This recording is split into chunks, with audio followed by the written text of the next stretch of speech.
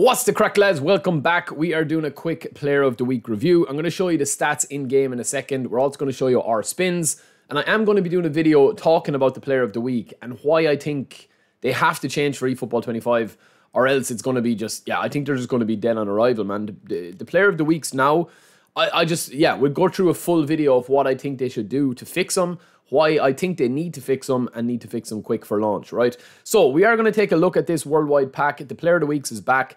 And obviously the best part of this is probably the A form if you are using some of your favorite players. So if you are using Blitzcurl or Salah, if you're using Big Time Saka, if you're using Zirkzee or Kovacic or any of these that are got the A form now, uh, Mitoma is there as well. Of course, we had a showtime for him. Any of these players are going to be nice if you have not used them before. And they're all on A form for a week. Uh, maybe more. Depends on their form next week as well. But usually these players are are good to use. Right now, Lewandowski, we just spun one on this account, but I'll show you my main account where we spun three. The pack does disappear when you open all your players, so um, that is why we're using this one to show you the actual players here because I've already opened my packs, right?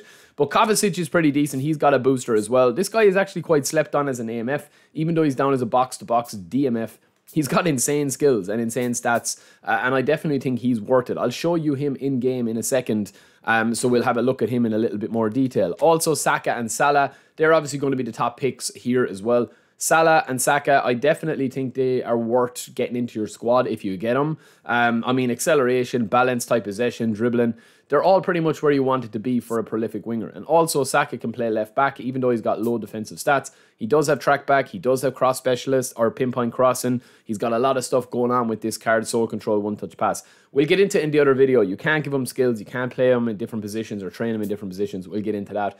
But Saka and Salah are probably the, the best two picks here. Zirkzee, I actually opened so many of these players to try and get Zirkzee across any profile, and we just could not get him. Um, and I wanted to get him because he has the booster, right? The standard card is decent as well, uh, but I do like the look of this card apart from his balance. I don't know what it is with the way that they, they, they build these cards. Haaland is the same. I mean, this guy is technically very sound, you know what I mean? And his balance should determine that a little bit more. He should be at least 80 balance. I think Haaland should be 80 balance as well.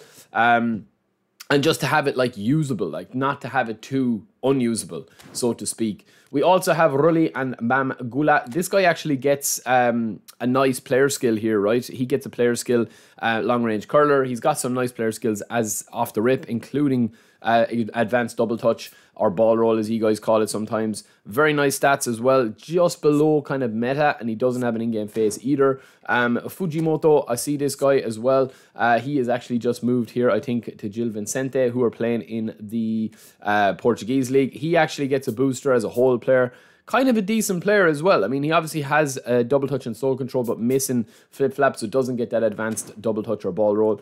Diakite, this guy here as a centre back, very decent as well. Strong, powerful, but a lack of aggression as a destroyer and a lack of acceleration is going to kill this card, to be honest with you.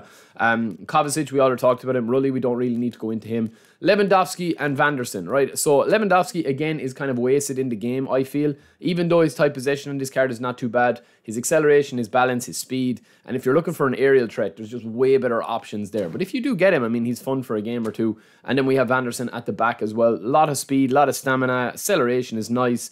Physically, he's not as good as other attacking fullbacks. I mean, there's just so many good attacking fullbacks in the game at the moment, but he does have interception, man marking, and fighting spirit, but not blockers. So he's definitely not up at the upper tier, right? So I'm actually going to go over and show you my spin. So this was on um, one of my accounts, I think it was my main account, um, where we spun, right? So we got Kovacic, um, and I'm actually going to set this up while we're doing that, and I'll show you.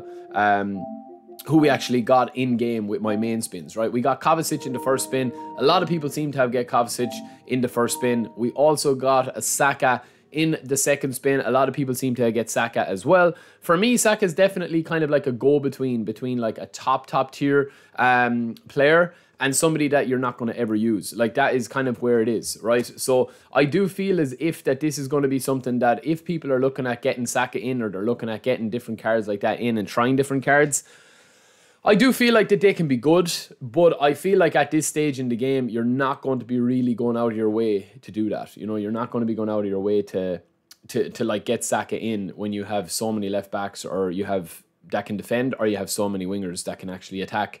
a lot more effectively than him, right? So I'm just going to show you on my team here. We do have a couple of the boys in. We have Saka. That's what his skills look like and his stats look like in game as a prolific winger. That's what he bounces up to there. He's got 90 plus in lofted pass dribbling, speed and acceleration, balances at 86, tight possession at 85. Um, we do have as well, I think we got, let me just double check, lads. Sorry, I'm all over the place.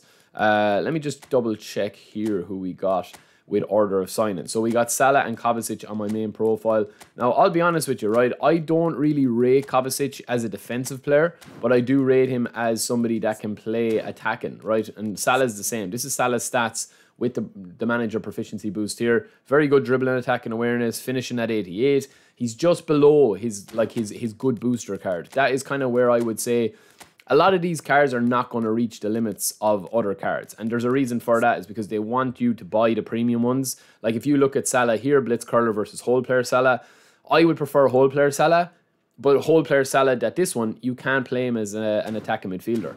You know what I mean? He's only able to learn those and he can't learn them because they're player of the week, so you can't train them. So yeah, it's a little bit silly. Um, but also Kovacic in this area is very nice as well if you're looking for a kind of a defensive um, attacking midfielder because that's the way the game has gone now. I think every player needs to be able to defend and attack. So yeah, it is for me, Les. We will talk about it at a later date. I think my next video is going to be talking about the player of the weeks and how to fix it. But until then, don't forget to subscribe. Did you spin or skip? Let me know, and I'll talk to you in a bit.